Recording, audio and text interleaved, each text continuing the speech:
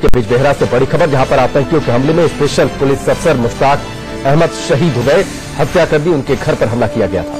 कल आतंकियों ने उनके घर पर फायरिंग की थी, जिसमें शेख बुरी तरीके से जख्मी हो गए थे। इसके बाद उन्हें अस्पताल ले जाया जा रहा था, लेकिन अस्पताल ले जाते वक्त ही वो शहीद हो गए हैं। तो बड़ी खबर आपको बता रहे हैं, जम्मू कश्मीर के बिजबेहरा इलाके से स्पेशल पुलिस अधिकारी मुश्ताक अहमद शेख की हत्या कर दी गई है।